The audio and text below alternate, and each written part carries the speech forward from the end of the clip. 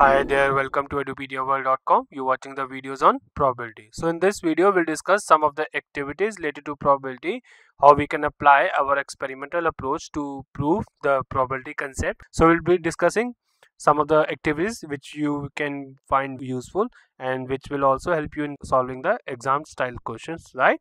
So let's get started with the first activity, which is activity number one. Activity says that take any coin, toss it 10 times and note down the number of times a head and tail comes up right? And then you record your observations in the form of following table right? So let's say these are the number of times the coin is tossed let's say 10 times and then we need to observe let's say number of times head comes up let's say it comes out to be six times right?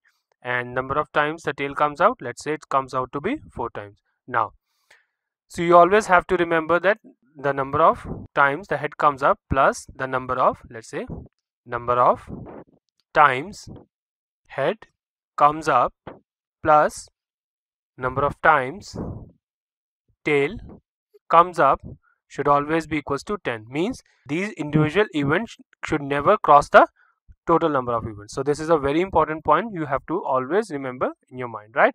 Now what we need to write down we need to then what we need to do is we need to write down values of the following fractions right? Let's say first one is we can write number of times a head comes up upon total number of times the coin is tossed right? So this is the values we have to note it down let's say the number of times the head comes up is 6 upon the total number of times the coin is tossed this is 10 so value comes out to be 0.6 right? So next value we need to write down is number of times times a tail comes up upon total number of times the coin is tossed. Let's say it comes out to be 4 by 10 so this comes out to be 0.4. So these are the values we have obtained when the number of times a coin is tossed is 10. Now next point is let's say toss the coin now 20 times right. So and in the same way you need to record your observation as above. Again you need to find these values right. Let's say if you toss the coin 20 times and let's say the head comes out to be 13 times and the tail comes out to be 7 times right? Then again you need to find the fractions or values like this. Then you again need to repeat the observation for the higher values. At the end you will find that as the number as the number of tosses gets larger right? So as the number of tosses get larger the value of fraction will approach to 0.5 or we can say it will come closer to 0.5 why? Because as we have already discussed when we are applying experimental approach let's say we tossed a coin once only so the probability of coming head and tail is 50 50 right? So whenever we apply experimental approach we have to apply unbiasing uh, we have to be very neutral right? So whenever we have a large data set then the values of fraction uh, will approach to 0.5 means that our values are neutral. So this is how we can approve our probability concept through the experimental approach by using these kind of activities, right? So let's move on to the next activity, which is activity number two. This activity says that divide the class into groups of two or three students, right? Let's each student group toss a coin 15 times. Another student in each group should record the observation regarding head and tails then note that coins of the same denomination should be used in all the groups. So the coins should be same and it will be treated as if they are only one coin, right? So the denomination should be the same, right? So this means first we have to make a table like this. In the first it comes out to be group, then comes out to be number of heads, right? Then comes out to be number of tails, right? Then comes out to be we can say number of heads upon total number of trials or we can say total number of events right? Then comes out to be number of tails upon total number of trials right? So let's say for the group 1 the number of head comes out to be let's say 3 then number of tails comes out to be 12 right? So this will come out to be number of heads upon number of trials. So it will be 3 upon 15 because it is 3 plus 12 right? Then number of tails will come out to be 12 upon 15 so this is the first group right? Let's say the second group.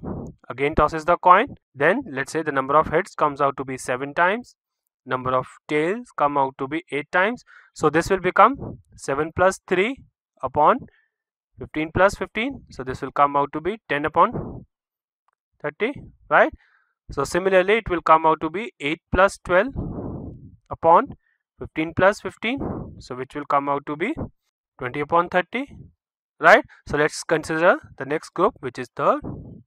Now the number of heads comes out to be 7 again and number of tails comes out to be 8 right? So this will come out to be now 7 plus 10 upon 15 plus 30 right? So this will come out to be 17 by 45 so this will come out to be 8 plus 20 upon 15 plus 30 so this will come out to be 28 by 45 right? So what you can observe over here is so as we are increasing the number of toss let's say 15 over here 15 over here 15 over here.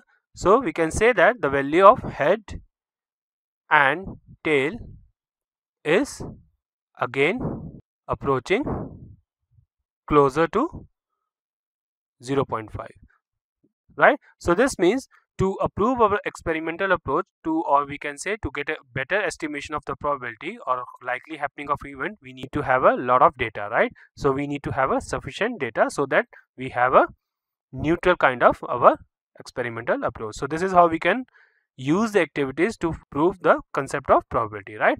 So let's move on to the next activity which is activity number three.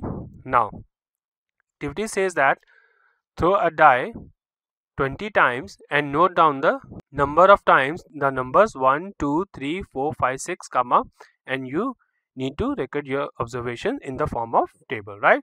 So first of all draw a table right?